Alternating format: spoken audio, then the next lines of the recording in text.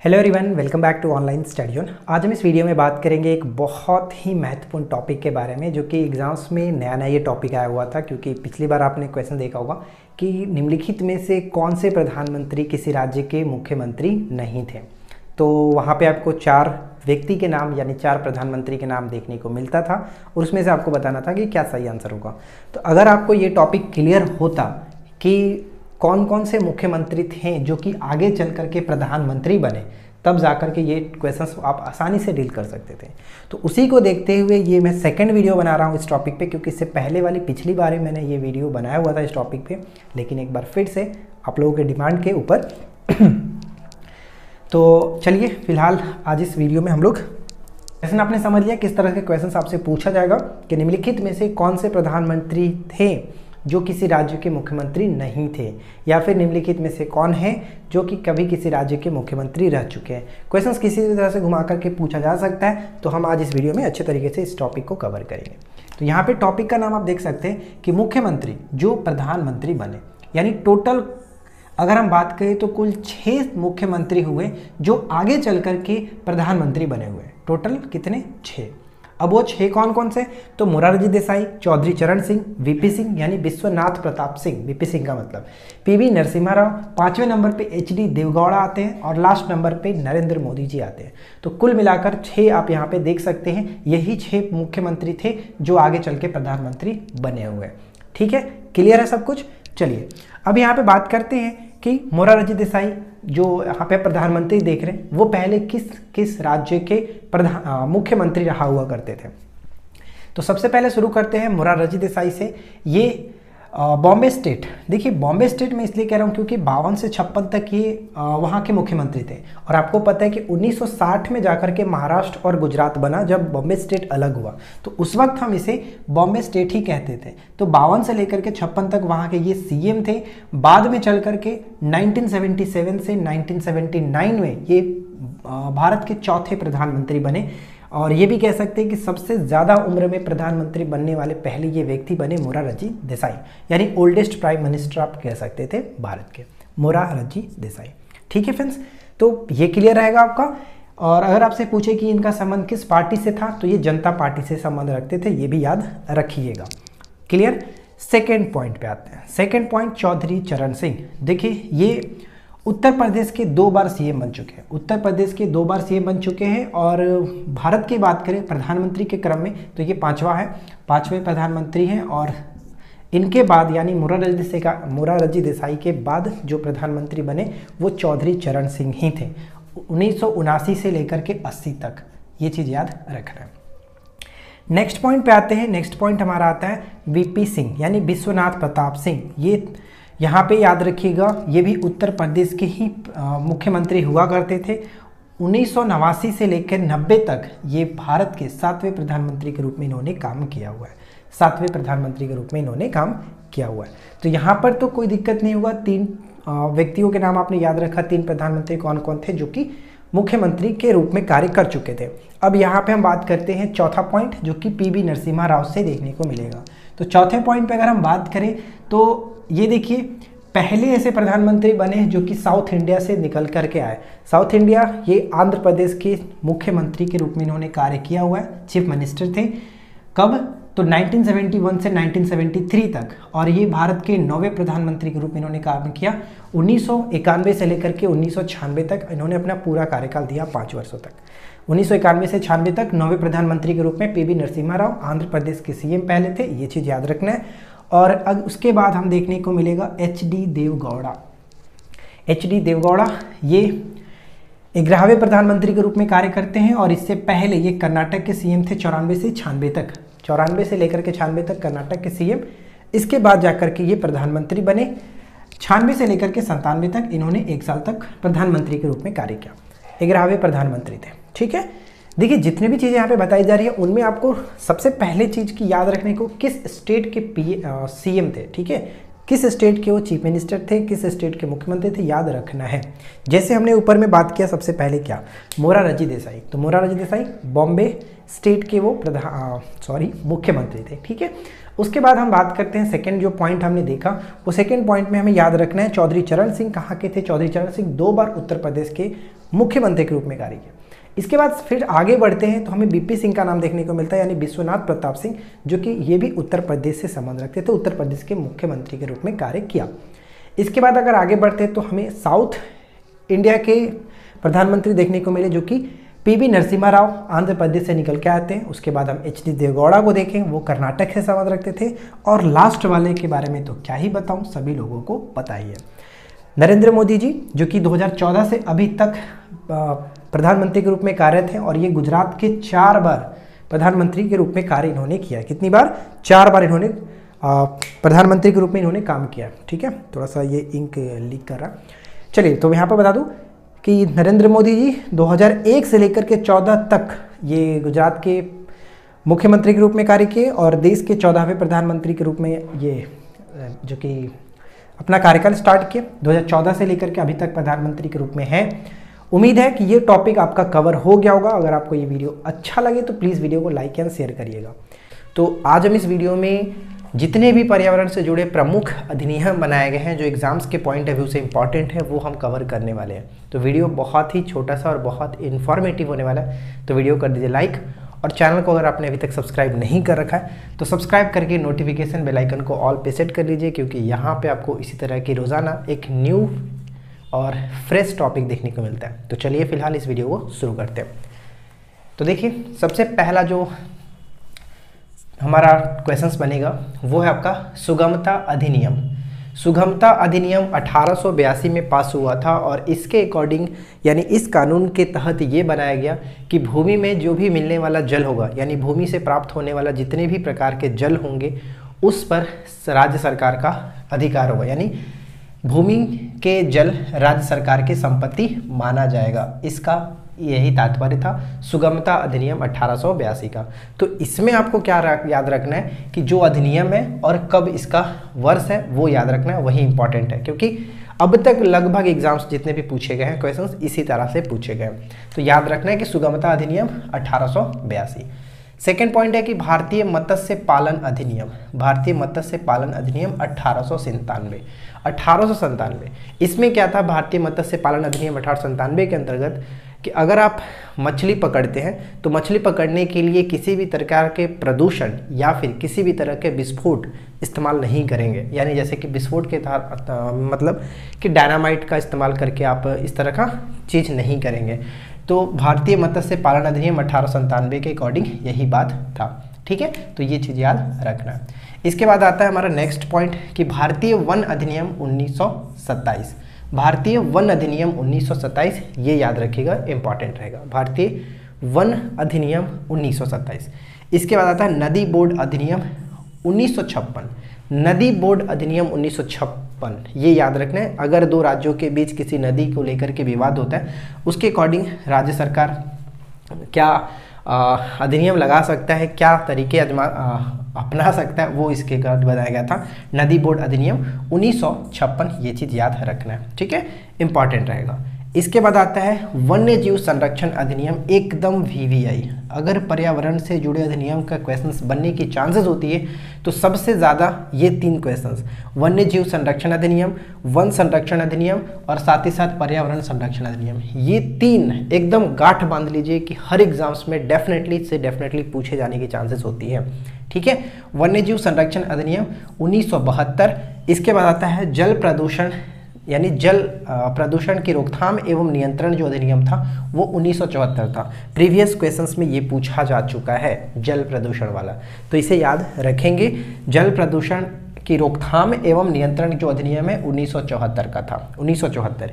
इसके बाद आता है, वन संरक्षण अधिनियम 1980 वन संरक्षण अधिनियम 1980 ऊपर में हमने देखा था, वन्य जीव संरक्षण अधिनियम, लेकिन यहाँ पे वन संरक्षण अधिनियम है, ठीक है? 1980 इसके बाद नेक्स्ट पॉइंट है, वायु प्रदूषण की रोकथाम एवं नियंत्रण। वायु प्रदूषण की रोकथाम एवं नियंत्रण जो होगा, वो इक्यासी के अंतर्गत आएगा। जल चौहत्तर के अंतर्गत, वायु जो होगा, वो आपका आएगा इक्यासी के अंतर्गत, ध्वनि जो होगा, वो 2002 के अंतर्गत आएगा। आगे देखेंगे।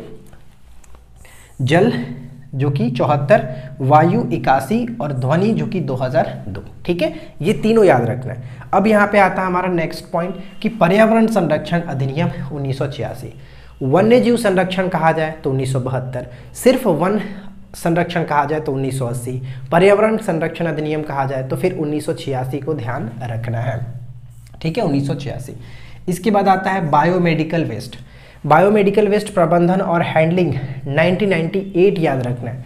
जो बायोमेडिकल वेस्ट होता है उसको आप किस तरह से निपटान कर रहे हैं उसका अच्छे से नियम के अकॉर्डिंग उस वेस्ट को आप आ, मतलब कि प्रबंधन कर रहे हैं इसको बना देखने के लिए देख रेख करने के लिए 1998 में ये अधिनियम लाया गया था बायोमेडिकल वेस्ट ठीक है फ्रेंड्स बायोमेडिकल वेस्ट इसके बाद आता है कि पौधा किस्म और कृषक अधिकार संरक्षण। अधिनियम पौधा किस्म और कृषक अधिकार जो संरक्षण अधिनियम आया वो 2001 के अंतर्गत आया था 2001 ये याद रखेंगे 2001 नेक्स्ट पॉइंट आता है जैव विविधता अधिनियम 2002 जैव विविधता अधिनियम 2002 प्रत्येक वर्ष जैव विविधता दिवस कब मनाते हैं, ये आप नीचे कमेंट करके बताइएगा।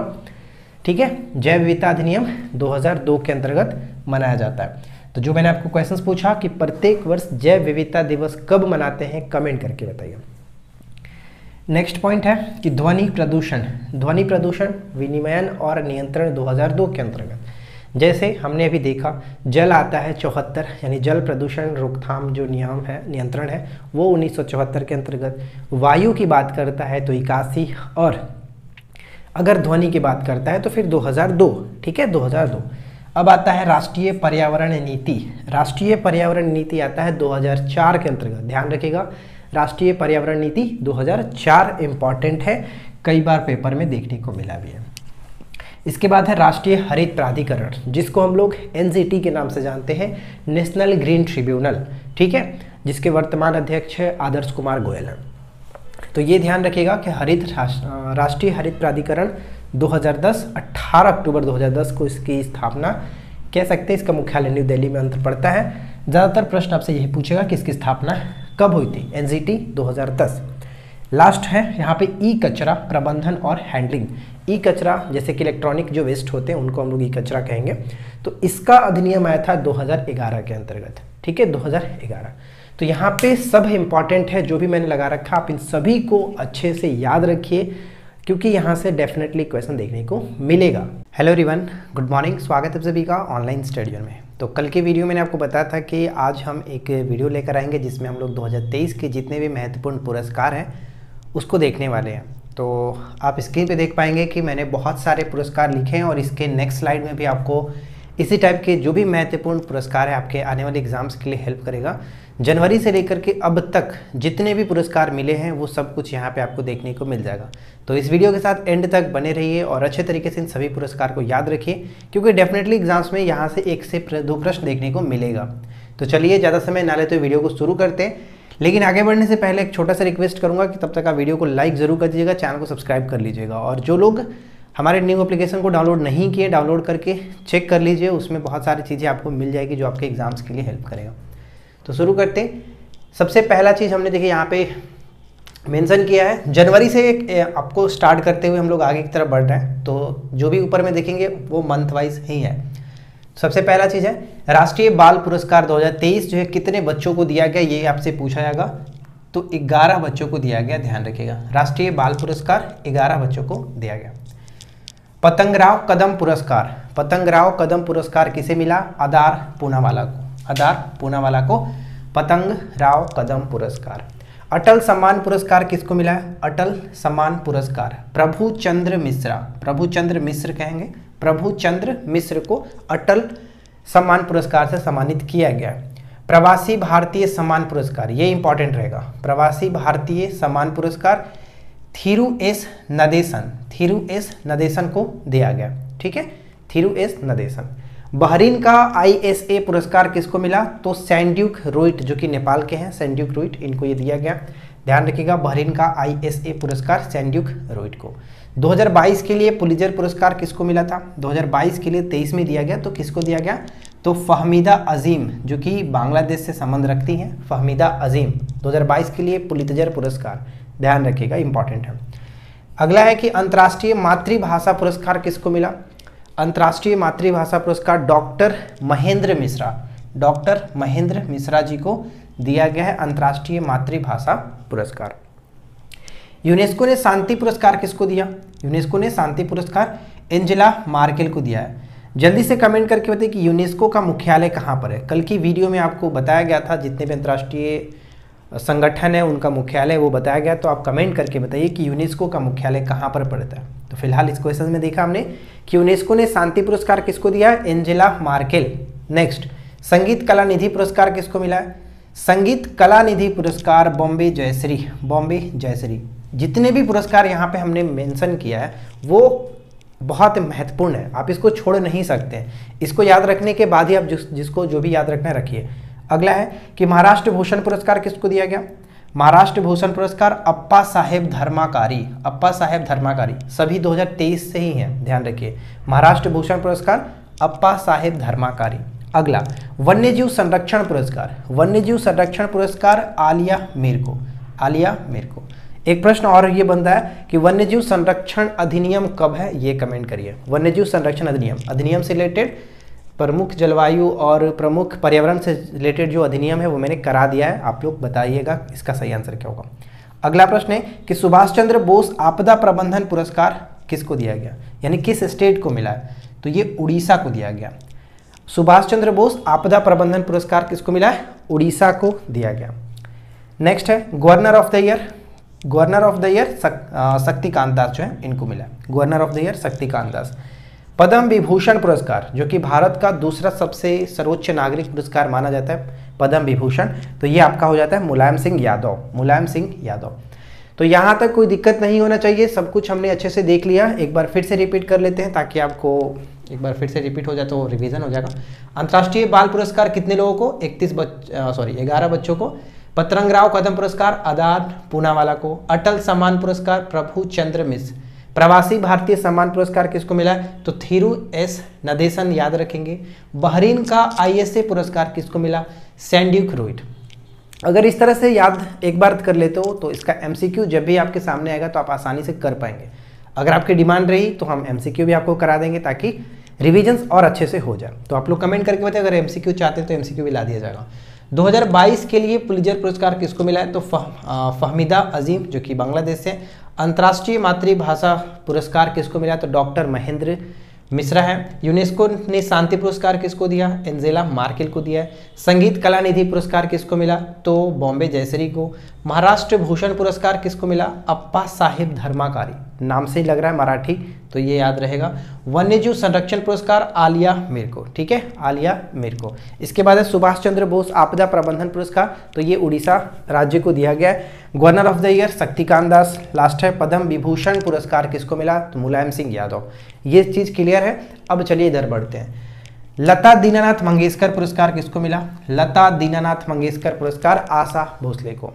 सांख्यिकी 2023 अंतर्राष्ट्रीय पुरस्कार। सांख्यिकी 2023 का अंतर्राष्ट्रीय पुरस्कार सी आर राव को, सी आर राव को दिया गया। भारत रत्न डॉक्टर अंबेडकर पुरस्कार। भारत रत्न डॉक्टर अंबेडकर पुरस्कार किसको मिला तो उत्तर प्रदेश के जो सीएम है, योगी आदित्यनाथ जी, इनको दिया गया। ध्यान रखिएगा। संतावनवा ज्ञानपीठ पुरस्कार किसको मिला? तो संतावनवा ज्ञानपीठ पुरस्कार दामोदर मौजो को दिया गया। दामोदर मौजो, ये इंपॉर्टेंट वीवीआई रहेगा। राइट? नेक्स्ट वन है कि साहित्य अकादमी का युवा पुरस्कार। साहित्य अकादमी का युवा पुरस्कार 2023 हिंदी लेखक अतुल कुमार रॉय। हिंदी लेखक हैं अतुल कुमार रॉय और इनकी जो उपन्यास है, चांदपुर की चंदा, इसके लिए ये इनको साहित्य अकादमी युवा पुरस्कार दिया गया। अगला जो सवाल है, बहुत अच्छा है कि जर्मन शांति पुरस्कार 2023 किसको दिया गया? तो सलमान रुश्दी को वीवीआई रहेगा। सलमान रुश्दी जो है, इनको जर्मन शांति पुरस्कार 2023 से नवाजा गया। इकबाल मसीह पुरस्कार। इकबाल मसीह जो है, वो ललिता नटराजन ललिता नटराजन, जो हम स्पीडी करंट अफेयर्स आपको करा रहे हैं, उसमें बहुत सारे क्वेश्चन इस यहाँ से देखने को आपको मिला होगा, बहुत पहले भी मैंने कराया है। एलिजाबेथ लॉन्गफोर्ड पुरस्कार किसको दिया गया? एलिजाबेथ लॉन्गफोर्ड पुरस्कार, रामचंद्र गुहा की जो पुस्तक है, आपको पता ही है कि इनकी जो पुस्तक होती है, काफ़ी पॉपुलर होती है एग्ज़ाम्स में हमेशा आता रहता है रामचंद्र गुहा की पुस्तक। तो इनकी पुस्तक को एलिजाबेथ लॉन्गफोर्ड पुरस्कार दिया गया। अगला सवाल भी इंपॉर्टेंट रहेगा। गांधी शांति पुरस्कार 2023 किसको मिला? ध्यान दीजिएगा, इससे पहले अगर 23 नहीं पूछा है तो 21 वाला भी पूछा जा सकता है कि गांधी शांति पुरस्कार 2021 किसको दिया गया था? तो गीता प्रेस, गोरखपुर का जो गीता प्रेस है, उसको दिया गया था। लेकिन 23 का जो शांति पुरस्कार है, वो इंडियन मेडिकल एसोसिएशन और trade nurses association of India इन दोनों संस्थानों को दिया गया है। गांधी शांति पुरस्कार दो हज़ार तेईस। ध्यान दीजिएगा 2023 अगला है कि साहित्य अकादमी पुरस्कार 2023 किसको मिला? ऊपर में हमने देखा था, साहित्य अकादमी युवा पुरस्कार अतुल कुमार जो रॉय है, उनको मिला था। लेकिन साहित्य अकादमी पुरस्कार प्रिया A S, Priya A S ये दिया है। नेक्स्ट कि देश का सर्वश्रेष्ठ राज्य भूमि सम्मान किसको मिला? देश का सर्वश्रेष्ठ राज्य भूमि का सम्मान उड़ीसा को दिया गया। और इधर हमने उड़ीसा में क्या देखा था? सुभाष चंद्र बोस आपदा प्रबंधन पुरस्कार भी उड़ीसा को ही मिला है। Next most preferred work place of 2023-24 जो है किसको दिया गया? एनटीपीसी को। काफ़ी लोगों के द्वारा पसंदीदा वर्क प्लेस में चुना गया है एनटीपीसी को। अंतर्राष्ट्रीय एनी पुरस्कार। अंतर्राष्ट्रीय एनी पुरस्कार किसको मिला? तो थलपिल प्रदीप। आईआईटी मद्रास के प्रोफेसर है थलपिल प्रदीप। क्वेश्चन घुमा के पूछा जा सकता है कि हाल ही में अंतर्राष्ट्रीय एनी पुरस्कार थलपिल प्रदीप को दिया गया। बताइए कि इनका संबंध किस आईआईटी से है? हो सकता है कुछ भी क्वेश्चन दे दे। तो ध्यान में रखना है कि थलपिल प्रदीप कहाँ संबंध रखते हैं? आईआईटी मद्रास से। नेक्स्ट ये क्वेश्चन तो आपको पहले ही पता है कि पूछा जा चुका है। जब सेल को मिला था, पूछा जा रहा था। एग्ज़ाम्स में आया भी था। गोल्डन पिकॉक पर्यावरण प्रबंधन पुरस्कार 2023 किसको मिला? तो अडानी ट्रांसमिशन अडानी ट्रांसमिशन जो लिमिटेड है, इसको दिया गया गोल्डन पिकॉक पर्यावरण प्रबंधन पुरस्कार 2023 तो ये कुछ महत्वपूर्ण था। अब चलिए बढ़ते हैं इसके नेक्स्ट स्लाइड में। और भी जो महत्वपूर्ण है, उसको भी हम लोग देख लेते हैं।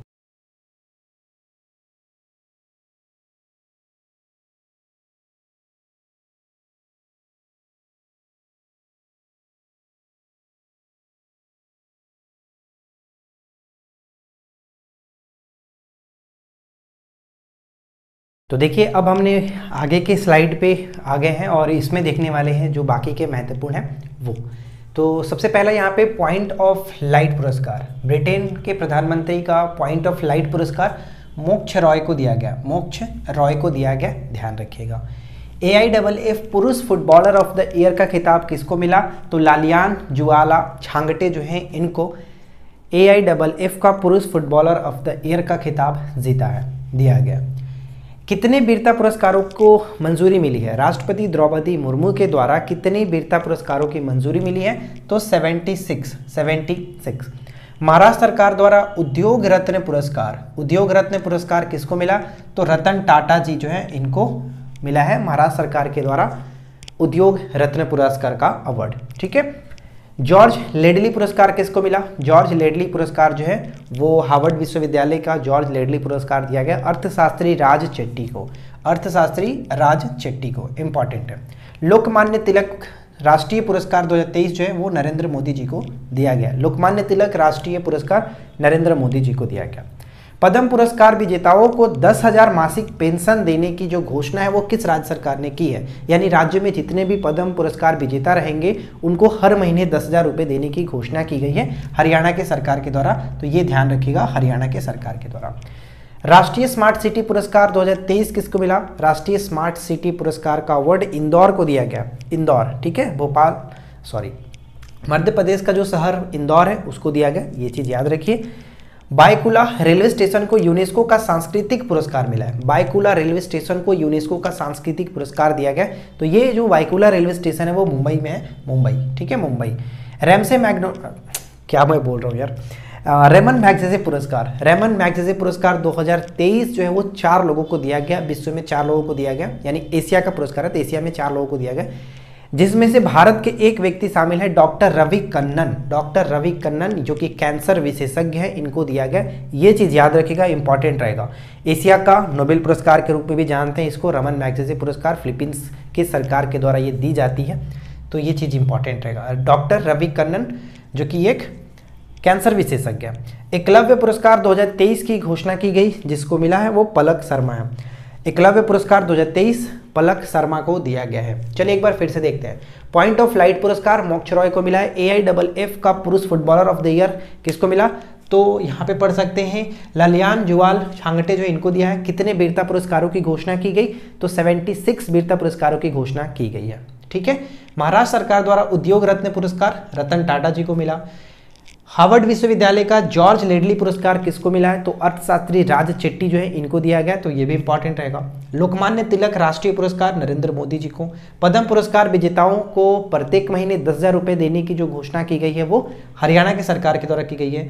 राष्ट्रीय स्मार्ट सिटी पुरस्कार 2023 किसको मिला? तो इंदौर को। बाइकुला रेलवे स्टेशन को यूनेस्को के द्वारा सांस्कृतिक पुरस्कार मिला है, मुंबई।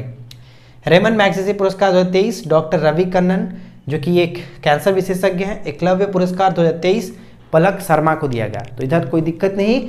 अब चलिए हम बढ़ते हैं आखिरी पॉइंट्स के तरफ़, जिसमें है, पहला आता आपका leading fintech personality of the year 2023 किसको मिला है? Leading fintech personality of the year का अवार्ड किसको मिला है? तो अदीब अहमद अदीब अहमद। एक चीज़ मैं आपको बता दूँ कि इसमें जितने भी मैंने पुरस्कार लिखे हैं, वो सबसे महत्वपूर्ण है। इसके अलावा भी बहुत सारे पुरस्कार हैं, लेकिन वो एग्ज़ाम से उतना रिलेटेड नहीं है, एग्ज़ाम्स के पॉइंट ऑफ़ व्यू से। तो अगर आपको पढ़ना है तो आप इधर उधर से देख करके याद करना चाहे, पढ़ सकते हैं। लेकिन यहाँ पे जो बताया गया, इसको पहले याद रखिए, उसके बाद आप एक्स्ट्रा कुछ भी पढ़िए, कोई दिक्कत नहीं है। अगला है कि भारत का सर्वश्रेष्ठ पर्यटन गाँव का पुरस्कार किसको मिला है? तो किरीटेश्वर गाँव है। पश्चिम बंगाल का एक किरीटेश्वर गाँव है, इसी को सर्वश्रेष्ठ पर्यटन गाँव का पुरस्कार 2023 में दिया गया है। ठीक है, किरटेश्वर गाँव, पश्चिम बंगाल। अच्छा पहला भारत का पहला गाँव जो है, उस किसे घोषित किया गया था? माना गाँव उत्तराखंड का माना गाँव को। ठीक है, उत्तराखंड का माना। इसको याद रखिए। राजीव गांधी राष्ट्रीय सद्भावना पुरस्कार 2023 किसको मिला? राजीव गांधी राष्ट्रीय सद्भावना पुरस्कार 2023 वनास्थली विद्यापीठ जो है, वनास्थली विद्यापीठ राजस्थान में है। इसको सद्भावना राजीव गांधी राष्ट्रीय सद्भावना पुरस्कार दिया गया। अच्छा ये कमेंट करके बताइए कि सद्भावना दिवस मनाते कब है? राष्ट्रीय सद्भावना दिवस प्रत्येक वर्ष कब मनाया जाता है? किस डेट को मनाया जाता है? आगे है। दादा साहब फाल्के पुरस्कार 2023 वाहिदा रहमान को दिया गया। नॉर्मन बॉर्लॉग फ़ील्ड पुरस्कार। नॉर्मन बॉर्लॉग फ़ील्ड पुरस्कार doctor Swati Nayak, doctor Swati Nayak. Norman Borlaug जो थे, इनका संबंध किससे था, ये आप बताइएगा। नॉर्मन, जो नॉर्मन बॉर्लॉग आप देख रहे हैं, इस इनका संबंध किस देश मतलब किस फ़ील्ड से था, वो आपको बताना है। अगला, तेरहवा स्वामीनाथन पुरस्कार 2023 किसको मिला? तेरहवा स्वामीनाथन पुरस्कार जो है, डॉक्टर सुरिंदर सहगल को, डॉक्टर सुरिंदर सहगल ये इंपॉर्टेंट है। पेन प्रिंटर पुरस्कार 2023 पेन प्रिंटर पुरस्कार 2023 माइकल रोसेन माइकल रोसेन को यूरोपियन निबंध पुरस्कार, यूरोपीय निबंध पुरस्कार अरुंधति रॉय। अरुंधति रॉय को। महाराष्ट्र भूषण पुरस्कार किसको मिला है? तो महाराष्ट्र भूषण पुरस्कार डॉक्टर दत्तात्रेय नारायण, डॉक्टर दत्तात्रेय नारायण को मिला है। एबेल पुरस्कार, जिसको गणित का नोबेल पुरस्कार भी माना जाता है, एबेल पुरस्कार। तो ये आपको मिला है लुई लुइस ए कैफ्रॉली, ठीक है? लुइस ए कैफ्रॉली कैफ्रॉली बस याद रखिए, जो कि अर्जेंटीना से संबंध रखते हैं। कैफ्रॉली, ठीक है? एबेल पुरस्कार। प्रितजर पुरस्कार, जो कि आर्किटेक्चर के क्षेत्र में दिया जाता है, वास्तुकला के क्षेत्र में दिया जाता है। तो प्रिटेक्चर जो है, वो आपका हो जाता है चिपर फ़ील्ड ठीक है? चिपर फ़ील्ड को दिया गया दो हज़ार तेईस का आर्किटेक्चर यानी प्रितजर आर्किटेक्चर पुरस्कार। अच्छा ऊपर में एक क्वेश्चन मैंने आपको बताया था कि सुभाष चंद्र बोस जो है, आपदा प्रबंधन पुरस्कार 2023 किसको मिला है? तो वहाँ पे सिर्फ़ मैंने उड़ीसा बताया था तो उड़ीसा के अलावा भी एक साथ उसमें यह याद रखिएगा लुंगलेई जो फायर स्टेशन है, लुंगलेई फायर स्टेशन मिजोरम में इन दोनों को मिला है। उड़ीसा के साथ साथ लुंगलेई फायर स्टेशन मिजोरम इन दोनों को संयुक्त रूप से सुभाष चंद्र बोस आपदा प्रबंधन पुरस्कार 2023 मिला है। ठीक है? तो देखिए फ्रेंड्स उम्मीद है कि ये पुरस्कार वाली वीडियो आपके लिए हेल्पफुल रहेगी। और वीडियो कैसा लगा नीचे कमेंट करके ज़रूर बताएगा। और मैंने इस बोर्ड पे बहुत सारी चीज़ें लिख दी यार। बहुत टाइम लगा तो इसके लिए एक लाइक ज़रूर कर दीजिएगा अपने हिसाब से। जितने लोग देखेंगे वीडियो लाइक करके जाइए। और पेड कोर्स अगर आपको ज्वाइन करना है तो आप हमारे एप्लीकेशन पे जा सकते हैं। वीडियो के नीचे डिस्क्रिप्शन में लिंक दिया गया जल्द से जाइए और वहाँ पे अपने पसंद के कोर्स को ज्वाइन कर लीजिए। फ़िलहाल हम मिलते हैं नेक्स्ट क्लास में किसी नए वीडियो के साथ। Thanks for watching keep watching keep learning have a good day उसमें पूछे जाते हैं तो इस वीडियो में थोड़ा सा आप समय दीजिए और अच्छे तरीके से सभी आयोग के बारे में डिटेल में जान लीजिए कि क्या क्या आपको एग्ज़ाम्स के लिए आपको रेडी रखना है। ठीक है? तो चलिए फ़िलहाल शुरू करते हैं और एक एक स्लाइड पे आपको सारी आयोग के बारे में मैं आपको बताऊँगा। तो सबसे पहले मैं स्टार्ट करता हूँ अपने निर्वाचन आयोग से। तो ध्यान दीजिएगा निर्वाचन आयोग, जिसे हम लोग भारतीय चुनाव आयोग के रूप में भी जानते हैं। निर्वाचन आयोग कह सकते हैं या फिर भारतीय चुनाव आयोग के रूप में इसे जाना जाता है। अगर हम बात करें कि ये किस प्रकार का निकाय है तो सबसे पहले मैं आपको बता दूँ कि ये एक प्रकार का संवैधानिक निकाय है। संवैधानिक निकाय मतलब ये होता है कि वो पहले एक अधिनियम के द्वारा उसको संवैधानिक दर्जा दिया गया, जो कि उसके संविधान में कहीं ना कहीं उसका चर्चा मिलता है। तो संविधान में चर्चा मिलने का मतलब ये हुआ कि कहीं ना कहीं संविधान में उससे रिलेटेड कोई आर्टिकल भी होगा। तब उसे हम कहते हैं संवैधानिक आयोग। तो संवैधानिक आयोग है, यानी इसका आर्टिकल आप देख सकते हैं। संविधान के भाग 15 में अनुच्छेद 324 से 329 के तहत आप पढ़ेंगे तो भारतीय चुनाव आयोग या फिर निर्वाचन आयोग से रिलेटेड सारी जानकारी मिल जाएगी। तो फ़िलहाल हम किसी और वीडियो में उसके बारे में डिस्कस करेंगे। लेकिन यहाँ पे बस ये आपको जानना है कि निर्वाचन आयोग का संबंध किस अनुच्छेद के अंतर्गत आता है? तो 324 से 329 के अंतर्गत आता है। ठीक है? अब इसके बात करते हैं कि इसका गठन कब हुआ? तो इसका गठन 25 जनवरी 1950 को 25 जनवरी 1950 को भारतीय चुनाव आयोग या फिर निर्वाचन आयोग का गठन हुआ और साथ ही साथ 25 जनवरी को इसी के, इसीलिए यानी प्रत्येक वर्ष जागरूकता फैलाने के लिए मतदान दिवस, राष्ट्रीय मतदान दिवस के रूप में भी मनाया जाता है 25 जनवरी को। तो ये चीज़ भी आपको याद रखना है, ठीक है? इसके बाद अगर बात करें कि इसके अंतर्गत एक मुख्य चुनाव आयुक्त होते हैं और दो अन्य चुनाव आयुक्त होते हैं। एक मुख्य चुनाव आयुक्त और दो अन्य चुनाव आयुक्त होते हैं। मुख्य चुनाव आयुक्त का जो कार्यकाल होता है वो छः वर्ष या फिर पैंसठ वर्ष छः वर्ष या फिर पैंसठ वर्ष और अगर अन्य चुनाव आयुक्तों की बात करें तो छः वर्ष और बासठ वर्ष। तो ये बहुत इंपॉर्टेंट होता है एग्ज़ाम्स के पॉइंट ऑफ़ व्यू से, इसको याद रखिएगा कितने वर्ष का होता है। ठीक है? अब यहाँ पे हम बात करते हैं इनकी नियुक्ति कौन करता है। जो मुख्य चुनाव आयुक्त होते हैं या फिर अन्य चुनाव आयुक्त होते हैं, इनकी नियुक्ति राष्ट्रपति के द्वारा की जाती है। तो ये पॉइंट याद रखना है। अगर हम बात करें कि पहले मुख्य चुनाव आयुक्त कौन थे, यानी जब ये गठन हुआ, उस वक्त पहले मुख्य चुनाव आयुक्त कौन थे निर्वाचन आयोग के पहले मुख्य चुनाव आयुक्त सुकुमार सेन थे और ये वीवीआई प्रश्न है क्योंकि हमेशा रिपीट होता रहता है, पूछा जाता रहता है। तो सुकुमार सेन, और अगर महिला में बात करें कि महिला कौन थी तो रामा देवी पहली महिला मुख्य चुनाव आयुक्त कौन थी तो रामा देवी थी, ये चीज़ याद रखना है। वीडियो अगर आपको अच्छा लगे तो प्लीज़ वीडियो को लाइक एंड शेयर करिएगा। चैनल पे पहली बार है, सब्सक्राइब करके नोटिफिकेशन बेल आइकन को ऑल पे सेट करिए। साथ ही साथ आप नीचे कमेंट करके ज़रूर बताया करें कि आप किस टॉपिक पे वीडियो देखना चाहते हैं। ये भी टॉपिक डिमांड किया गया था, इस वजह से हमने आपको कराया और इंपॉर्टेंट भी है क्योंकि इससे रिलेटेड प्रश्न पूछे जाते रहते हैं। अब हम बात करते हैं यहाँ पे योजना आयोग के बारे में। ध्यान दीजिए, योजना आयोग अपने आप में एक बहुत इंपॉर्टेंट ये हो जाता है आयोग, क्योंकि इससे रिलेटेड पहले भी बहुत सारे प्रश्न पूछे जाते थे और जब से इसमें चेंजिंग हुआ, यानी योजना आयोग के स्थान पर जब नीति आयोग आया तो नीति आयोग से रिलेटेड भी कई सारे सवाल एग्ज़ाम्स में देखने को मिलते रहते हैं।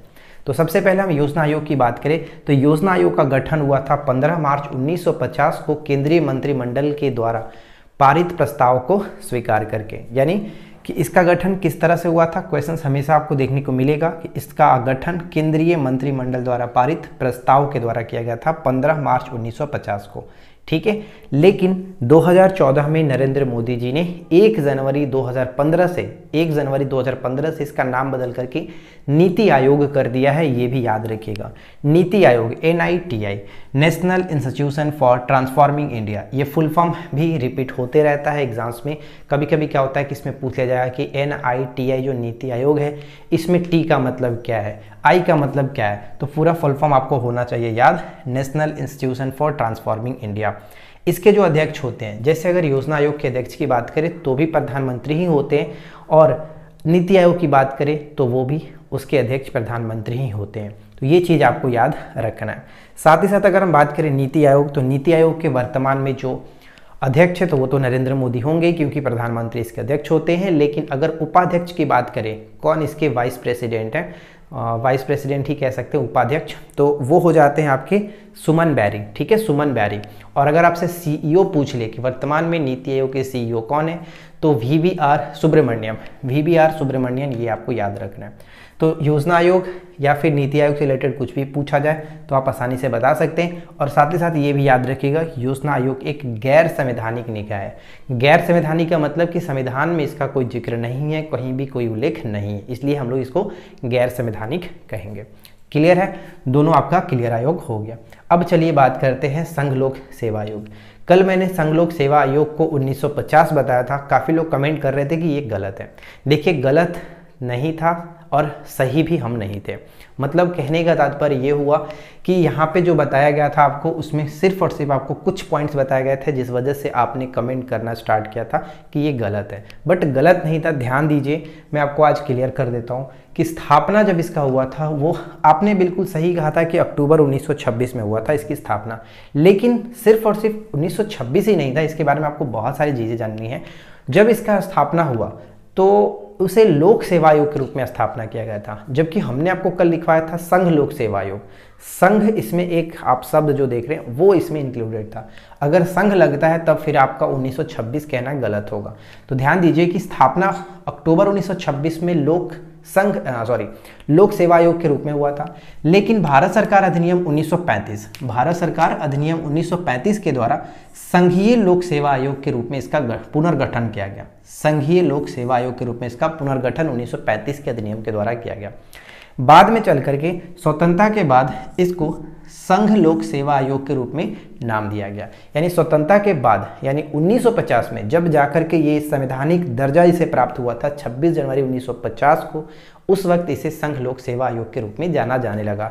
और यही मैंने कल आपको बताया था कि संघ लोक सेवा आयोग की स्थापना 1950 तो बस ध्यान रखिए कि इसमें बहुत सारी चीज़ें थी जो कि कल आपको वीडियो में नहीं बताई गई थी, और मैंने आपको बोला भी था कि इसका जब नेक्स्ट हम पार्ट लाएँगे, डिटेल्स में आपको बताएँगे तो वहाँ पर हर आयोग के बारे में डिटेल में बात करेंगे। तो आज हम इस यही आपको क्लियर कर दें कि संघ लोक सेवा आयोग कहा जाए तो 26 जनवरी 1950 को संवैधानिक दर्जा प्राप्त हुआ और इसी की स्थापना के रूप में जानते हैं। अगर लोक सेवा आयोग की स्थापना पूछा जाता तब हम वहाँ पर अक्टूबर 1926 कह सकते थे, जैसा कि यहाँ पर मेंशन किया गया। अब बात करते हैं कि जब इसे संवैधानिक दर्जा दिया गया तो कहीं ना कहीं संविधान में इसका उल्लेख होगा। तो संविधान की बात करें तो अनुच्छेद 315 से 323 के अंतर्गत संघ लोक सेवा आयोग के बारे में पूरे विस्तार से चर्चा की गई है। संघ लोक सेवा आयोग के बारे में 315 से 323 के अंतर्गत, राइट? और 324 से तीन सौ उनतीस तक भारतीय चुनाव आयोग या फिर निर्वाचन आयोग के बारे में देखने को मिलता है। कार्यकाल की बात करें तो इसके सदस्यों का कार्यकाल जो होता है, यानी इसके जो अध्यक्ष होते हैं, इसका कार्यकाल छः वर्ष, पैंस छः साल या फिर पैंसठ वर्ष, जो भी पहले पूरा होता है, उसका कार्यकाल समाप्त माना जाता है। तो छः साल या फिर पैंसठ वर्ष, ये याद रखेंगे। वर्तमान में जो इसके अध्यक्ष हैं, वो मनोज सोनी हैं, ये याद रखें। अच्छा यहाँ पे मैंने एक क्वेश्चन आपसे पूछना चाहता था। बताइए कि वर्तमान में मुख्य निर्वाचन आयुक्त कौन है? मुख्य निर्वाचन आयुक्त निम्नलिखित निम्नलिखित तो नहीं कहूँगा। मुख्य निर्वाचन आयुक्त वर्तमान में कौन है? हम नीचे कमेंट करके बताएँगे। और वर्तमान में जो यूपीएससी के अध्यक्ष हैं, वो है मनोज सोनी। और अगर हम बात करें कि पहली महिला अध्यक्ष कौन थी तो रोज मिलियन वैथ्यो रोज मिलियन वैथ्यो ये सब चीज़ें आपको लूसेंट में भी पढ़े होंगे, याद होगा। तो यहाँ तक तो कोई दिक्कत नहीं है। अब चलिए बढ़ते हैं हम लोग आगे के स्लाइड पे और आगे के जो भी आयोग हैं, उनके बारे में डिस्कस करते हैं। तो अब हम यहाँ पे बात करते हैं वित्त आयोग के बारे में। तो वित्त आयोग से रिलेटेड कई सारे सवाल एग्ज़ाम्स में देखने को मिलते हैं डायरेक्ट पूछ जाते हैं और कई बार हमने आपको बताया भी है।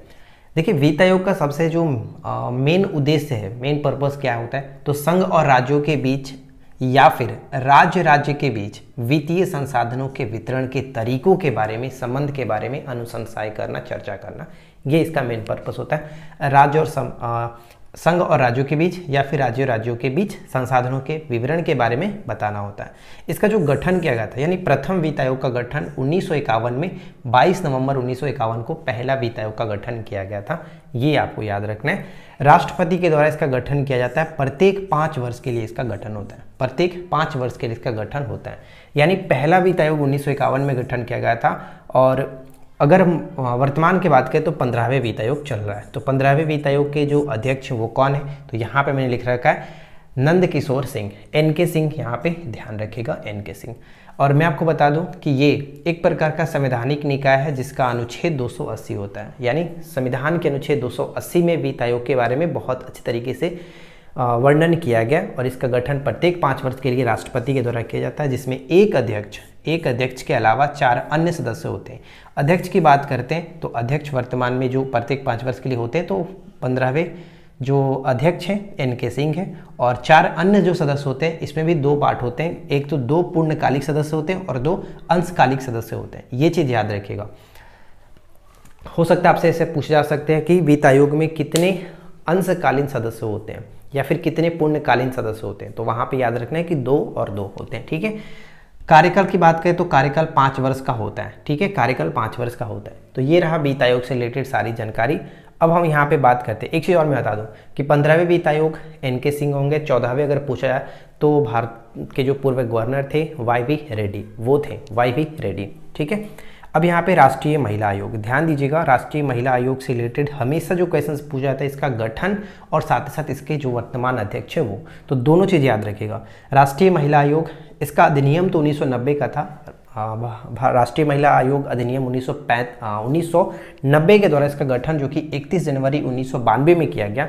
और राष्ट्रीय महिला आयोग का जो मेन कार्य होता है, भारत में महिलाओं के प्रतिनिधित्व भारत में महिलाओं के अधिकारों का प्रतिनिधित्व करना और उनके पक्ष की तरफ़ मतलब आवाज़ उठाना होता है, भारत में महिलाओं के अधिकारों का प्रतिनिधित्व करना। तीन साल या फिर पैंसठ वर्ष का इनका कार्यकाल होता है, तीन साल या फिर पैंसठ वर्ष, जो भी मतलब पहले पूरा हो। और पहली महिला आयोग कौन थी? तो पहली महिला आयोग की जो अध्यक्ष थी, जयंती पटनायक थी। और वर्तमान में बात करें तो रेखा शर्मा, ये सबसे इंपॉर्टेंट है, रेखा शर्मा अक्सर पूछा जाता रहता है। अब यहाँ पे बात करते हैं केंद्रीय सतर्कता आयोग, जिसको हम लोग शॉर्ट में सीवीसी के रूप में भी जानते हैं, यानी central vigilance commission central vigilance commission जिसकी स्थापना फरवरी 1964 में किया गया था, फरवरी 1964 में, और कौन सी समिति के द्वारा? तो संथानम समिति के द्वारा किया गया था। संथानम समिति जो है, जिसे भ्रष्टाचार रोकने से संबंधित सुझाव देने के लिए इस समिति का गठन किया गया, संथानम समिति, और इसी समिति के सुझाव पर केंद्रीय सतर्कता आयोग, सेंट्रल विजिलेंस कमीशन का गठन किया गया फरवरी उन्नीस में। डेट याद रखना। इसमें एक अध्यक्ष होते हैं, और इसके दो अन्य सतर्कता आयुक्त होते हैं।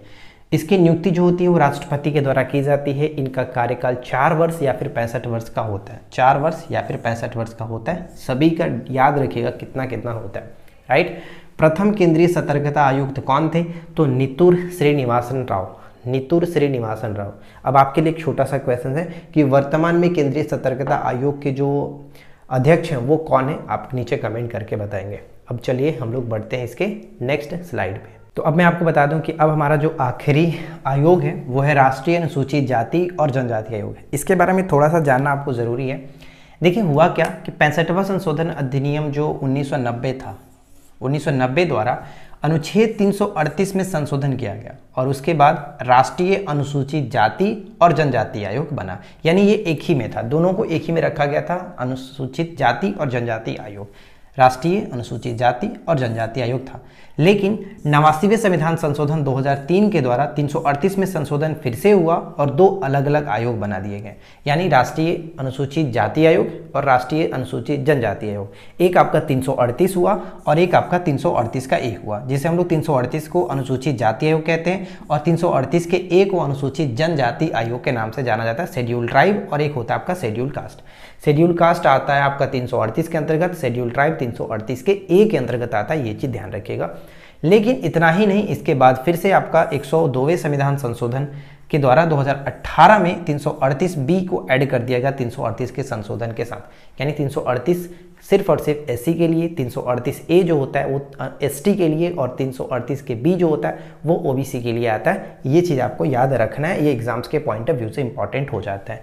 पैंसठवा संशोधन उन्नीस सौ नब्बे, नवासीवा दो और एक होता है तीन सौ सॉरी दो दो ये ध्यान रखना यहाँ तक कोई दिक्कत नहीं है। संविधान संशोधन से रिलेटेड मैंने एक अलग वीडियो बनाया हुआ है, प्रॉपर तरीके से आप जा करके उसको देख सकते हैं।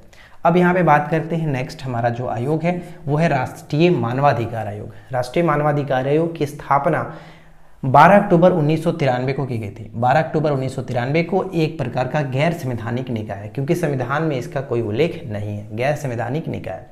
अध्यक्ष की बात करें तो इसके अध्यक्ष जो होते हैं वो न्यायमूर्ति अरुण कुमार मिश्रा है। देखिए, इसके हमेशा जो अध्यक्ष होते हैं वो रिटायर्ड होते हैं। रिटायर्ड जो जज होते हैं सुप्रीम कोर्ट के, उनको ही बनाया जाता है। तो न्यायमूर्ति अरुण कुमार मिश्रा। और प्रथम अध्यक्ष इसके कौन थे? तो रंगनाथ मिश्र। रंगनाथ मिश्र, ये याद रखिएगा, कार्यकाल कितना होता है? तो तीन वर्ष या फिर सत्तर वर्ष की आयु तक इसके कार्यकाल माना जाता है। किसका? तो राष्ट्रीय मानवाधिकार आयोग का। ये चीज़ याद रखिएगा। विश्व मानवाधिकार दिवस कब मनाते हैं, ये आप नीचे कमेंट करके बताइए। कल की वीडियो मैंने आपको वैसे ही बताया था और बहुत सिंपल सा क्वेश्चन है तो आपको याद होगा। अब हमारा आखिरी आयोग है, केंद्रीय सूचना आयोग, जिसे हम लोग सीआईसी के नाम से जानते हैं सेंट्रल इन्फॉर्मेशन कमीशन ठीक है? सेंट्रल इंफॉर्मेशन कमीशन केंद्रीय सूचना आयोग, जिसकी स्थापना 2005 के अंतर्गत की गई थी, इसके वर्तमान जो अध्यक्ष बने हैं वो हीरालाल सामरिया है। करंट अफेयर्स में मैंने आपको कराया हुआ था। हीरालाल सामरिया, नवंबर 2023 में इसके अध्यक्ष बने हीरालाल सामरिया। प्रथम अध्यक्ष की बात करें तो वजाहत हबीबुल्ला थे। वजाहत हबीबुल्ला इसके प्रथम अध्यक्ष थे। और इसी के अंतर्गत आता हमारा एक आरटीआई, राइट टू इन्फॉर्मेशन जो कि हम अभी फ़िलहाल उसी पोस्ट पे हैं। यानी साउथ ईस्टर्न रेलवे का जितना भी आरटीआई होता है वो हम लोग ही करते हैं। ये चीज़ मैं आपको बता दूँ क्योंकि आरटीआई और ग्रीवेंस का जो भी आ, सेक्शन है वो हमारे अंडर है मतलब हमको ही वो मिला हुआ है। तो खड़गपुर में फ़िलहाल हम यही काम करते हैं आरटीआई वाला आरटीआई और ग्रीवेंस का देखते हैं। तो ये हमारे अंदर ही आता है। सिर्फ़ और सिर्फ़ साउथ ईस्टर्न रेलवे का, ठीक है? अब यहाँ पे देखिए। राइट टू इन्फॉर्मेशन जो है वो आपका पारित तो हुआ था जून 2005 के अंतर्गत, लेकिन इसको लागू किया गया था 12 अक्टूबर 2005 को। तो ये दो चीज़ आपको याद रखना इंपॉर्टेंट हो जाता है। लागू कब हुआ, पारित कब हुआ, ये दोनों अलग अलग चीज़ें पूछे जाते रहते हैं। हेलो एवरीवन गुड मॉर्निंग स्वागत है सभी का ऑनलाइन स्टडियो में। तो आज हमारे पास है एक बहुत ही इंपॉर्टेंट टॉपिक जो कि काफ़ी लोग कमेंट भी कर रहे थे और कल के वीडियो में भी कमेंट आया हुआ था इस टॉपिक को लेकर के कि इसको करा दिया जाए। तो देखिए, मेरे पास टोटल दस गेम्स है और इस दस गेम से ही रिलेटेड आपको अक्सर पेपर में कहीं ना कहीं शब्दावली देखने को मिलती है। इन्हीं से रिलेटेड ट्रॉफी वगैरह पूछे जाते हैं। तो जितने भी गेम्स यहाँ पे आपको दिख रहा है, यानी कि बिलियर्ड्स टेनिस बैडमिंटन शतरंज hockey football cricket polo golf और बेसबॉल तो ये दस खेल हैं और इन दस खेल के जो प्रमुख शब्दावलियाँ, वैसे बहुत सारे शब्दावलियाँ हैं, लेकिन जो चुनिंदा है, जो एग्ज़ाम्स में अब तक देखने को मिलता रहता है रिपीटेड होता रहता है, जो आने के लिए एक्सपेक्टेड हम सोच सकते हैं कि ये पूछा जा सकता है, वो मैंने यहाँ पर नोट डाउन कर रखा है। तो सबसे पहले आपको करना ये है कि जितने भी यहाँ पे आपको दिए जा रहे हैं, यानी क्रिकेट में जो जो बताए गए हैं, उनको याद रखिए। हॉकी में जो दिए गए हैं, उनको याद रखिए। पोलो से रिलेटेड जो बताया जाएगा, उनको ध्यान रखना है। तो चलिए, फ़िलहाल मैं आपको एक एक करके सब कुछ बताता हूँ और इनको आप याद रखेंगे। तो स्टार्ट करते हैं। सबसे पहला हमारा बनना है बिलियर्ड्स देखिए बिलियर्ड्स और स्नूकर क्या होता है? बिलियर्ड्स और स्नूकर दोनों एक ही मतलब एक ही तरह के देखने को मिलता है, जो कि टेबल पर जो कैरम की तरह आप कह सकते हैं ना छोटा सा अगर हम एग्ज़ाम्पल के थ्रू देखें तो कैरम की तरह आप टेबल पर देखते हो ना, उसको जो बॉल रहते हैं, उसको डंडे से मारा जाता है। तो उसी को स्नूकर भी कहते हैं और बिलियर्ड्स कहते हैं। लेकिन दोनों में फ़र्क होता है, क्योंकि बिलियर्ड्स जो होता है, वो तीन बॉल के साथ खेले जाते हैं, ठीक है? इसमें तीन बॉल होते हैं। जबकि स्नूकर को हम लोग टोटल 22 गेंदों के साथ खेला जाता है। बस यही फ़र्क है, बाकी और कुछ ज़्यादा फ़र्क नहीं है। ठीक है? तो यहाँ पे आप ध्यान रखेंगे कि बिलियर्ड्स के संबंध में क्यू जो शब्द है वो बार बार रिपीट होता है। क्यू शब्द किस खेल से संबंधित पूछा जाता है? बिलियर्ड्स केनन याद रखिए और जिगर याद रखिए। क्यू जिगर और केनन ये तीनों शब्द बिलियर्ड्स खेल से संबंधित हो जाते हैं। टेनिस की बात करते हैं तो टेनिस में देखिए, एक जो शब्द है बार बार रिपीट होता है वो आपका है लव लव जो शब्द है, यानी स्कोर बोर्ड पे जब दोनों स्कोर ज़ीरो रहता है, उसको लव कहा जाता है। तो लव यहाँ पे ध्यान रखिए। लव हो गया ड्यूस हाफ़ वाली और स्मैश ये जो आप चार यहाँ पे शब्दावली देख रहे हैं, वो टेनी से संबंधित है। इंपॉर्टेंट रहेगा इसमें, लव और ड्यूस ये पूछा जाता रहता है।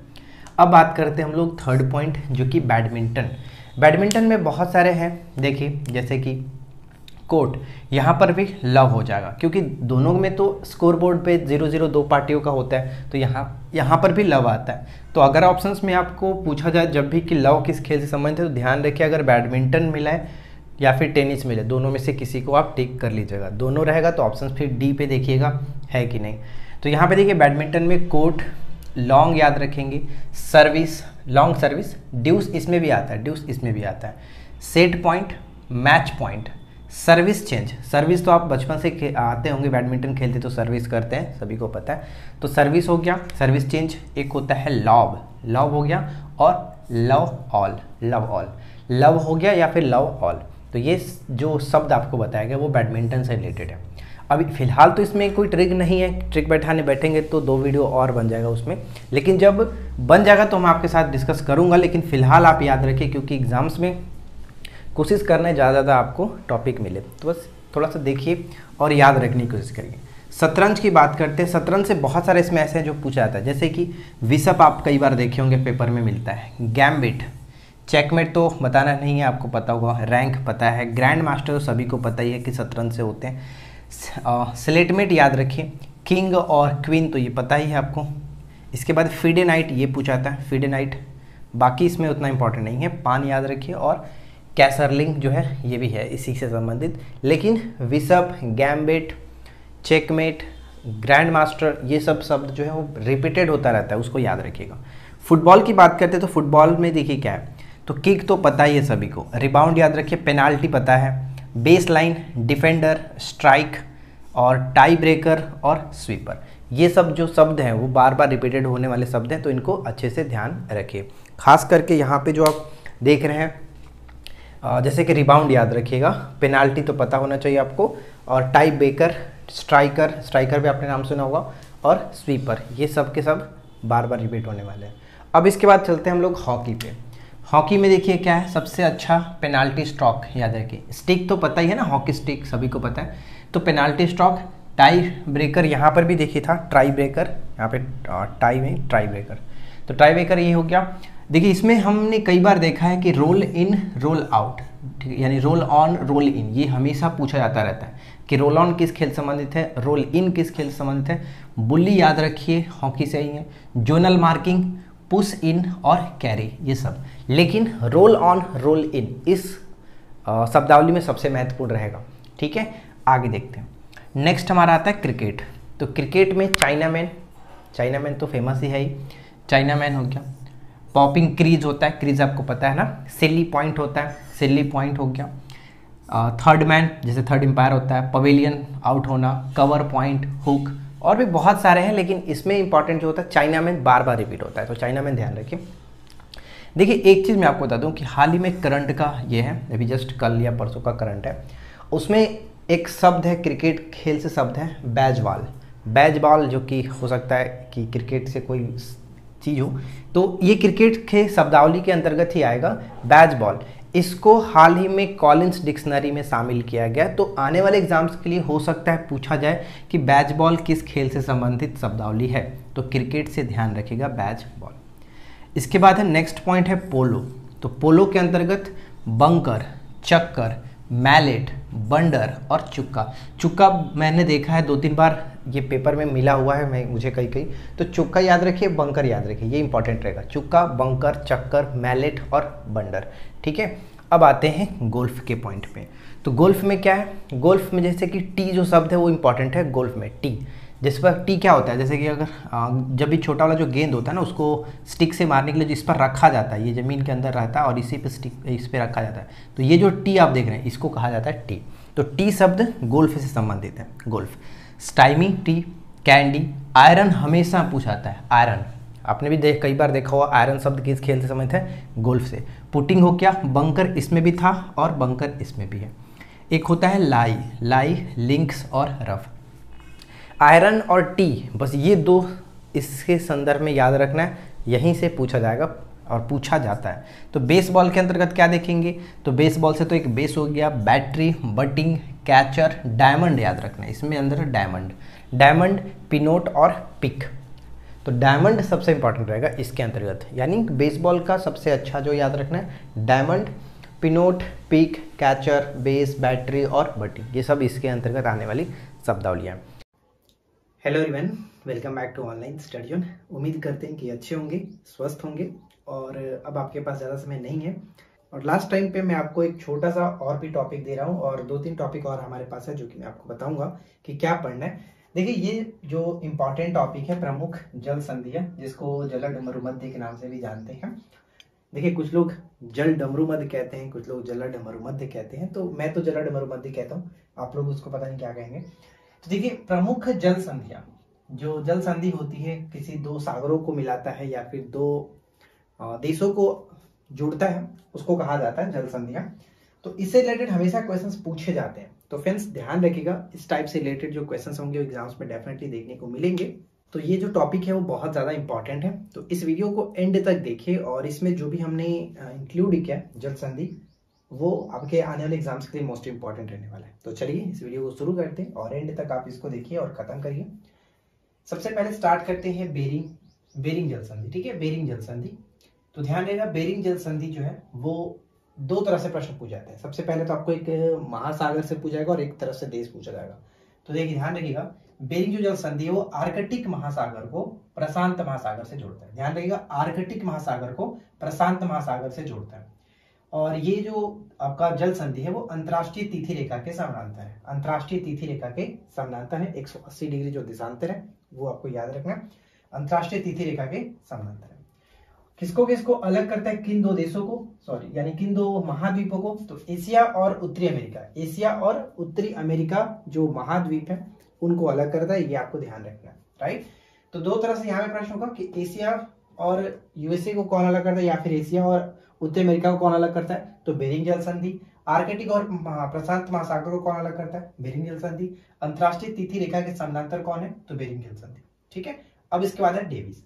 एक होता है डेविस और एक होता है डोवर। दोनों को ध्यान से समझ दीजिएगा डेविस जो जल संधि है, वो कनाडा और ग्रीनलैंड के बीच कनाडा और ग्रीनलैंड को जोड़ता है, या फिर कह सकते अलग करता है। तो कनाडा और ग्रीनलैंड को डेविस, और साथ ही साथ ये सबसे चौड़ी जल संधि है। विश्व की सबसे चौड़ी जल संधि के रूप में अगर पूछा जाए तो वो है आपका डेविस जल संधि ठीक है? डेविस जल संधि अब यहीं पे आपका जो डोबर होता है, वो याद रखिएगा। डोबर जो है, वो इंग्लिश चैनल को उत्तरी सागर से जोड़ता है। इंग्लिश चैनल को उत्तरी सागर से जोड़ता है, और इंग्लिश चैनल किसको किसको जोड़ता है? तो याद रखिएगा, इंग्लिश चैनल जो है, वो आपका यूके और फ्रांस। या फिर ऐसे भी कह सकते हैं कि डोबर जो जल संधि है, किन दो देशों को जोड़ता है? तो यूनाइटेड किंगडम, यानी कि ब्रिटेन और फ्रांस कह सकते हैं, या फिर इंग्लैंड और फ्रांस कहिए। ठीक है? इंग्लिश चैनल को या फिर उत्तरी सागर को। तो ये तीन चीज़ आपको याद रखना है, तीनों इंपॉर्टेंट इसके बाद हमारा एक आता है सबसे इंपॉर्टेंट जो कि जिब्राल्टर जिब्राल्टर जो जल संधि है, वो भूमध्य सागर को अटलांटिक महासागर से, भूमध्य सागर को अटलांटिक महासागर से जोड़ता है। अगर देश पूछा जाए तो स्पेन और मोरक्को को जोड़ता है। स्पेन और मोरक्को को अगर महाद्वीप पूछा जाए, या फिर महादेश कह सकते हैं, महादेश यहाँ पे महाद्वीप पूछा जाए तो अफ्रीका और यूरोप को अलग करता है। यानी कि मोरक्को जो अफ्रीका में और यूरोप स्पेन जो यूरोप में। तो अफ्रीका और यूरोप को अलग करता है, या फिर स्पेन और मोरक्को को अलग करता है, भूमध्य सागर को अटलांटिक महासागर से अलग करता है, जिब्राल्टर जल डब्रूबंद या फिर जिब्राल्टर जल संधि। ठीक है?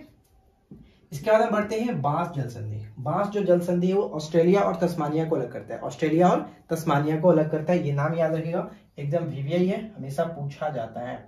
राइट वीवीआई के अंतर्गत हम दो तीन और देख लेते हैं, जैसे आपका ये वीवीआई हो गया। डेविस हमेशा पूछा जाता है। जिब्राल्टर आपको याद रखना है, वीवीआई हो गया। इसके बाद आपका ये जो डोवर है, आप याद रखेंगे। पाक तो आपको पता ही होगा, इसे बताने की ज़रूरत नहीं है। पाक जल संधि भारत और श्रीलंका के बीच, या फिर इसको हम इस तरह से याद रखें कि पाक जो स्ट्रेट है, वो बंगाल की खाड़ी को मनार की खाड़ी से जोड़ता है। बंगाल की खाड़ी को मनार की खाड़ी से जोड़ता है, ये भी आपको याद रखना है। ठीक है? इसके बाद है मलकक्का। मलकक्का जो है, ये याद रखिएगा अंडमान सागर को दक्षिण चीन सागर से। अंडमान सागर को दक्षिण चीन सागर से अगर देश दे दिया जाए ऑप्शंस में तो इंडोनेशिया को मलेशिया के मध्य। इंडोनेशिया और मलेशिया के मध्य स्थित है मलकक्का जलड मरुमध्य या फिर मलकक्का जल संधि। राइट चलिए, इसके बाद हमारा नेक्स्ट है। हमने देख लिया जिब्राल्टर, मोहम्मद सागर, अटलांटिक महासागर को अलग करता है, स्पेन और मोरक्को को, या फिर हम कह सकते हैं यूरोप और अफ्रीका को। अब यहाँ पे देखिए, एक आठ डिग्री, नौ डिग्री और दस डिग्री चैनल होते हैं जो कि हमेशा आपको रिपीट करता रहता है, पूछा जाता है।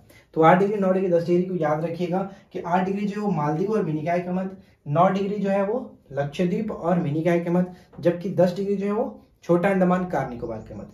इसको याद रखने के मैं आपको छोटा सा एक तरीका ही बताया था, मामी लक्ष्मी छोटी कार में।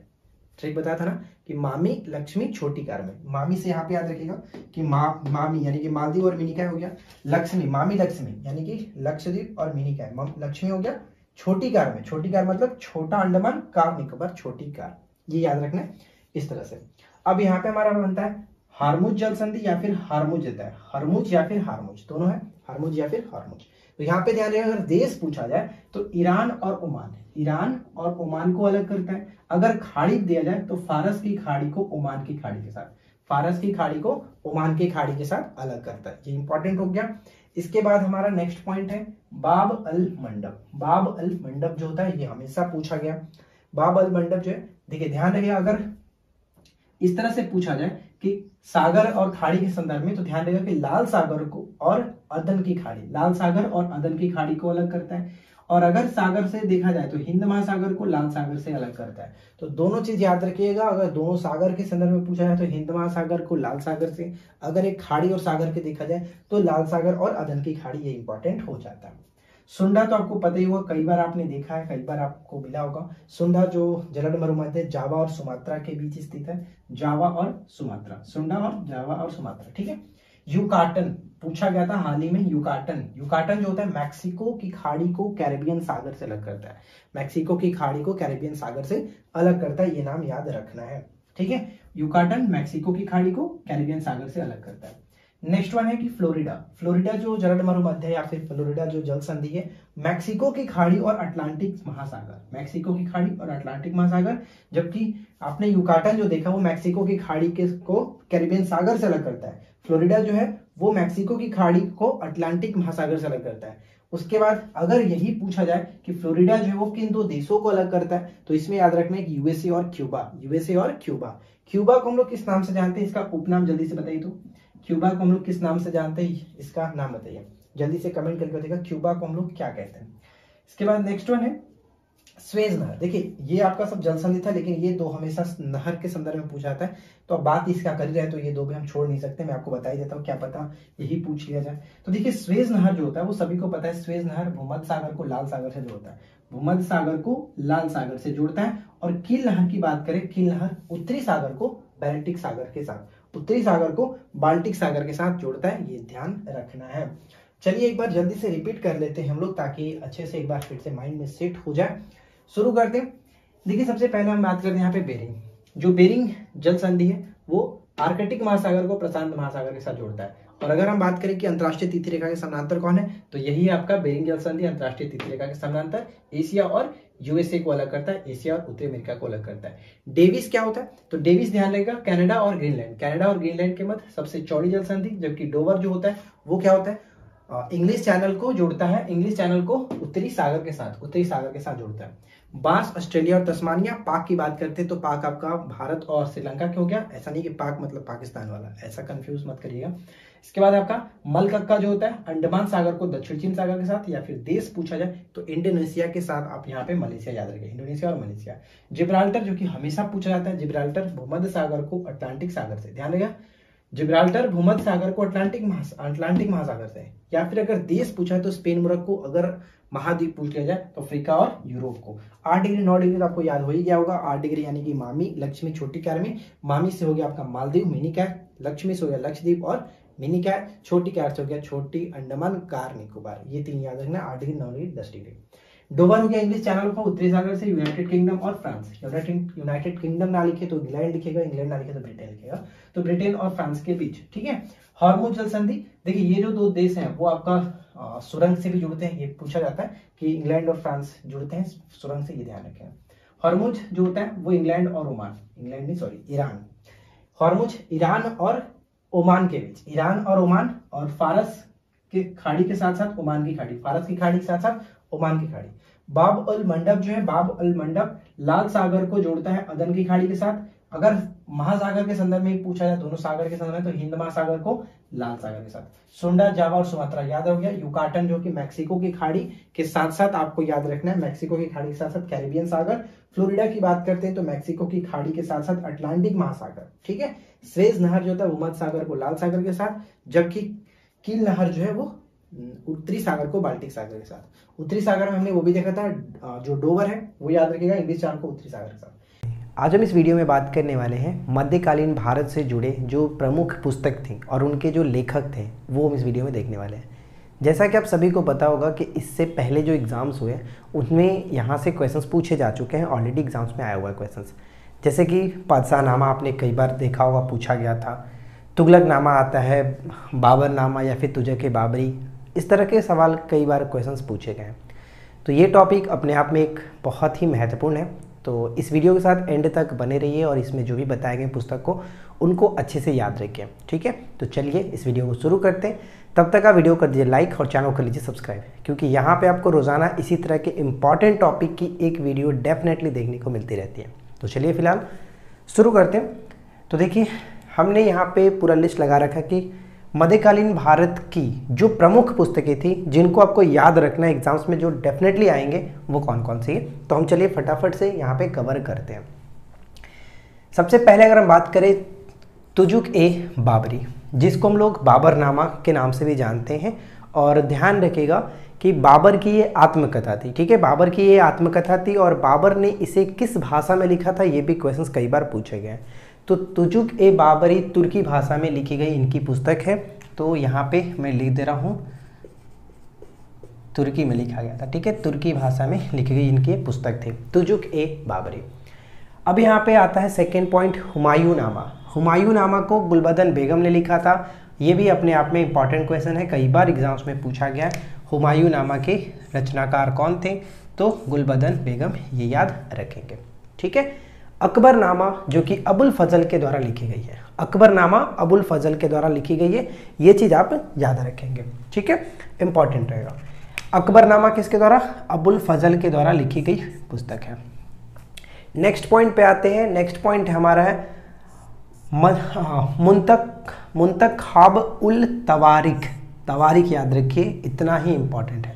तवारिक तवारिक बदायूनी के द्वारा लिखी गई पुस्तक है। बदायूनी तवारिक बदायूनी के द्वारा लिखी गई पुस्तक है। तबकात ए अकबरी, तबकात ए अकबरी को किसने लिखा है? तबकात ए अकबरी को निज़ामुद्दीन अहमद ने लिखा है। निज़ामुद्दीन अहमद ने लिखा है। एक चीज़ मैं आपको बता दूँ कि अगर इनके अलावा भी कुछ छूट जाता है तो आप लोग ज़रूर नीचे कमेंट कर दीजिएगा, मैं पिन कर दूँगा ताकि सभी लोगों को हेल्प हो जाए और अगर इसके नेक्स्ट वीडियो कभी लाएँगे तो वहाँ पे मैं इसको इंक्लूड कर सकूँ। ठीक है? लेकिन मैंने पूरी कोशिश की, जो इंपॉर्टेंट है वो मैं अपने साथ लेकर के आऊँ। लेकिन अगर छूट जाता है तो आप इसको मेंशन कर देना। अगला हमारा बनता है, अगला बनता है मासिर रहीमी। ये किसके द्वारा लिखी गई है? तो अब्दुल बाकी ने लिखा अब्दुल बाकी ने लिखा कभी पूछा नहीं गया, लेकिन मैंने यहाँ पे इंक्लूड कर दिया, क्योंकि हो सके, पूछा जा सके। ठीक है? मासिर, रहीमी किसने लिखा है? अब्दुल बाकी ने लिखा है। अगला है कि तारीख ए हकीकी। तारीख ए हकीकी अब्दुल हक देहलवी ने लिखा है। नाम आपने इसको सुना होगा कई बार तो हो सकता है जब नाम देखने को मिलता है तो उसे उनके जुड़े हुए चीज़ों को पूछा जा सकता है। तो तारीख ए हकीकी अब्दुल हक देहलवी ने लिखा है। ठीक है? तारीख ए फरिश्ता। तारीख ए फरिश्ता मोहम्मद कासिम। मोहम्मद कासिम जिसको हिंदू शाह के नाम से भी जाना जाता था, मोहम्मद कासिम। ठीक है? मोहम्मद कासिम। ये इंपॉर्टेंट रहेगा तुजुक ए जहांगीरी। तुजुक ए जहांगीरी खुद एक आत्मकथा थी जहांगीर की, ठीक है? तो जहांगीर ने इसको लिखा था, तुजुक ए जहांगीरी, जबकि बाबर का, बाबर नामा या फिर इसको हम लोग तुजुक ए बाबरी के नाम से जानते हैं, ठीक है? साथ ही साथ अगला जो प्रश्न है, वो है पादशाह नामा, बहुत इंपॉर्टेंट बहुत ही चर्चा में रहने वाला, हमेशा पूछा जाता रहता है। तो पादशाह नामा अब्दुल हमीद लाहौरी के साथ साथ एक और थे, जो कि मोहम्मद अमीन का कजवा, कजवीनी लिखा गया ठीक है? कजवीनी।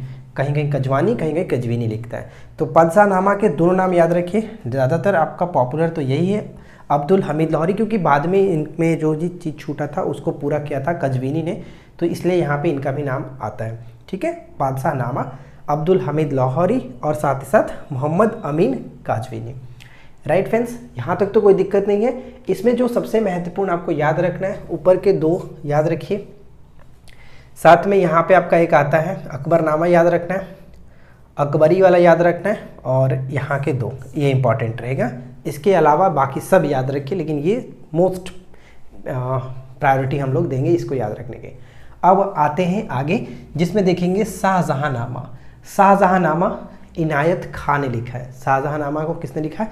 इनायत खान ने लिखा है। ये महत्वपूर्ण रहेगा एग्ज़ाम्स के लिए। एकदम वी वी इनायत खान ठीक है, शाहजहां नामा को इनायत खान ने लिखा है अगला बनता है आलमगिरी, जैसे कि रुक रुकाते आलमगिरी। रुकाते आलमगिरी को लिखा है औरंगज़ेब ने, ठीक है, औरंगज़ेब। ध्यान रखिएगा, औरंगज़ेब ने ही लिखा है रुकाते आलमगिरी।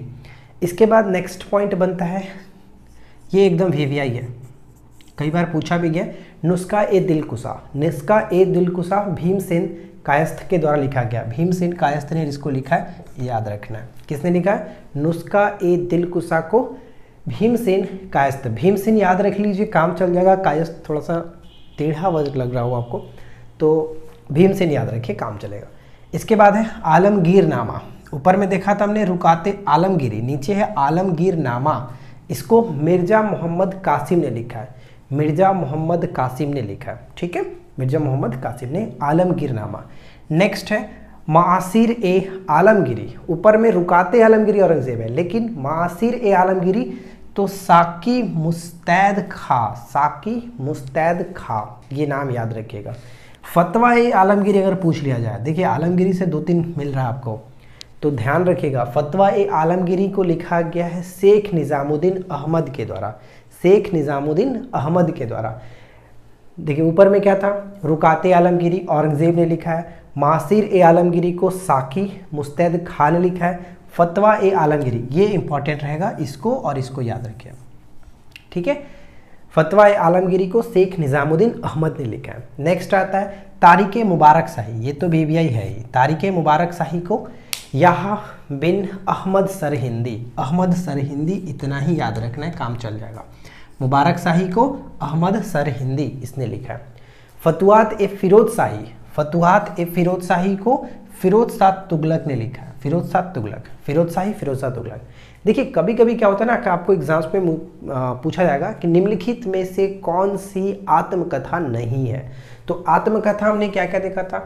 तुजक ए बाबरी बाबर की आत्मकथा थी।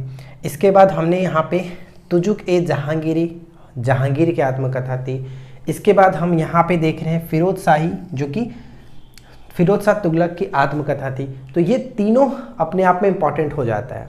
अगर क्वेश्चंस पूछ ले कि निम्नलिखित में से कौन सी आत्मकथा नहीं है तो वहाँ पे आपको ध्यान रखना होगा। ठीक है?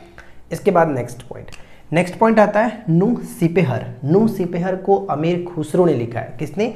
तो अमीर खुसरो ने लिखा है। नूर सिपेहर को अमीर खुसरो ने लिखा है। तुगलक नामा। तुगलक नामा को अमीर खुसरो ने ही लिखा है। नूर सिपहर, तुगलकनामा, अमीर खुसरो के द्वारा लिखा गया है। रहला तो आपको पता ही है, ये अपने आप में इंपॉर्टेंट पुस्तक है। मोरक्को यात्री इब्न बतूता, ठीक है? मोरक्को यात्री इब्न बटूटा कमेंट करके बताइए कि ये किसके दरबार में आया हुआ था। बहुत ही सिंपल सा क्वेश्चन है। कमेंट करके ज़रूर बताइएगा। और जिस शासक के दरबार में आया था, उससे जुड़ी दो तीन पॉइंट आप अपने मन से ज़रूर लिखिए, ठीक है? दो तीन पॉइंट्स जो आप जानते हैं, जो याद है, ज़रूर लिखिएगा।